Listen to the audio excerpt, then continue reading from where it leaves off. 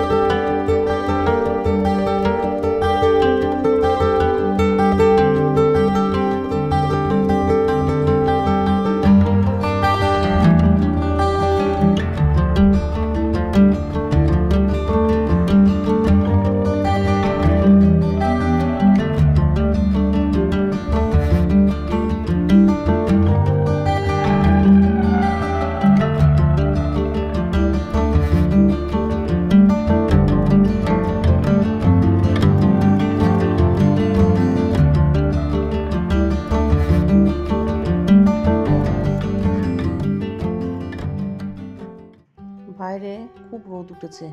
তাই কালকের কিছুটা জামা কাপড় ছিল, সেগুলো মেলে দিলাম। আজকেও কিছুটা জামা কাপড় কেচে ধুয়ে মেলে দিলাম। যাই হোক, এবার দেখো, এগুলো কি বলো তো হ্যাঁ বাঁধাকপি। এত বাঁধাকপি দিয়ে কি করব? ভাবছ বিক্রি করতে যাব? না না। আসলে আমরা গ্রামে থাকি গ্রামের মাঠ থেকে অনেক অনেক সবজি আসে।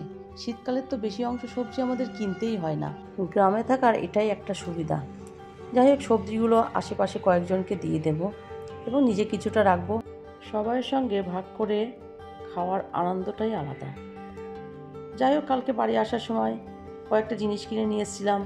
Vim bar Lizol Sunlight liquid আর একটা চাউমিনের প্যাকেট। এগুলো দরকার ছিল, তাই নিয়ে চললাম। এদিকে রান্নারও জোগাড় করে নিয়েছি। আজকে রান্নার জন্য বেগুন কেটেছি, আলু কেটেছি, বাঁধাকপি কাটা হয়ে গেছে। আর এদিকে পেঁয়াজ, কাঁচা লঙ্কা, টমেটো কুচিয়ে নিয়েছি। আর মাছে নুন, হলুদ মাখিয়ে রেখে দিয়েছি। এদিকে আমার ভাতও হয়ে গেছে। ভাতটা আমি উপর দিয়ে দিয়েছি কড়াই বসিয়ে দিয়েছি। তোমরা রান্নাটা দেখতে থাকো।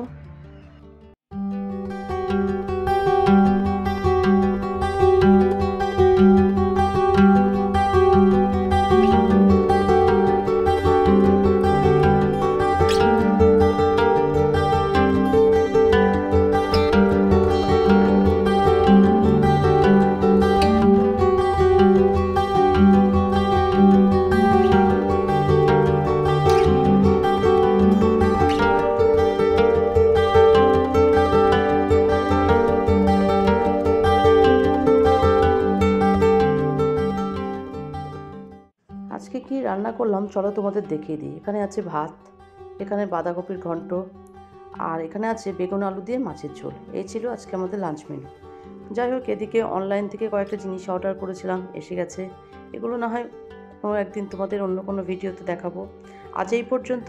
আমার এই ভিডিওটা যদি ভালো লেগে থাকে like comment share and subscribe করো। সবাই খুব ভালো থেকো। টাটা।